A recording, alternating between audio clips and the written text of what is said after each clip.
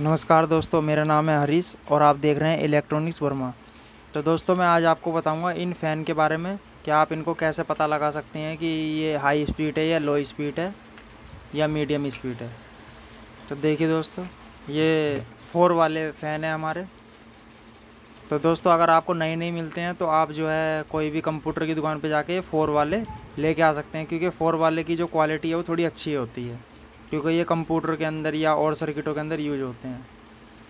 तो दोस्तों, इसके फोर के अंदर आपको क्या करना है? दोनों वायर तो ये दो वायर तो आपकी जो बेकार होती है, ये वाली, और आपको खाली येलो और ब्लैक वायर लेनी है। ये हमारी येलो वाली जो है, हमारी पॉजिटिव है, और ये हमारी नेगेटिव वायर है, जिसे हम बारह वोल्ट देने, देनी है। तो दोस्तों, इनकी पहचान कैसे करनी है हमें कि ये लो स्पीड है या हाई स्पीड है, ये देखिए। इसमें लिखा हुआ है ज़ीरो पॉइंट चालीस ए।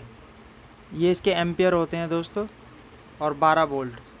और दूसरा देखिए, इसके अंदर क्या लिखा हुआ है? बारह वोल्ट, ज़ीरो पॉइंट पचास एम्पियर।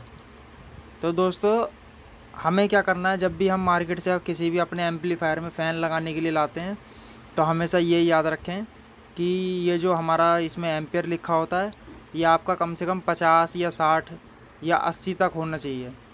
क्योंकि अगर जी, ज़्यादा होगा तो ये आपका फ़ैन उतना ही तेज़ चलेगा।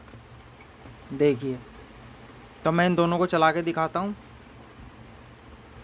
तो मैं इनमें देखिए दोस्तों, बारह वोल्ट दे देता हूँ और आपको चला के दिखाता हूँ कि इनकी स्पीड कैसी है।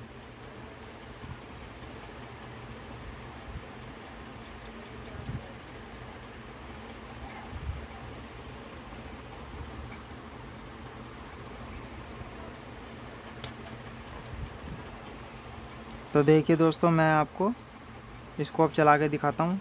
ये मैंने पॉजिटिव लगा दिया येलो पे और ये ब्लैक पे ग्रीन ये देखिए। तो ये देखिए, ये हमारा 40 एम्पियर में है।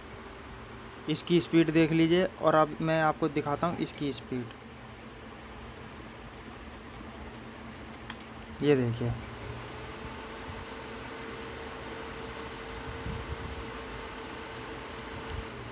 तो दोस्तों, आप हमेशा याद रखिए कि आप जो है ये एम्पियर कम से कम ज़ीरो पॉइंट पचास या साठ या अस्सी तक लेके आना है और उससे ऊपर भी जा सकते हैं। लेकिन ये ज़्यादा ऊपर जाओगे तो आपका जो है फ़ैन आवाज़ करेगा एम्पलीफायर के अंदर और फ़ैन की आवाज़ ज़्यादा आएगी। तो इसलिए पचास या साठ तक रखें, लेकिन उससे नीचे ना लें, क्योंकि हमारे यहाँ मार्केट में क्या है, वो ज़ीरो पॉइंट सत्रह, ज़ीरो पॉइंट अट्ठारह ज़ीरो पॉइंट पच्चीस इसके अंदर मिलते हैं मार्केट के अंदर।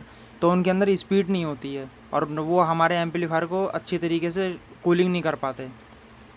तो इसलिए दोस्तों ये मैंने वीडियो बनाई है।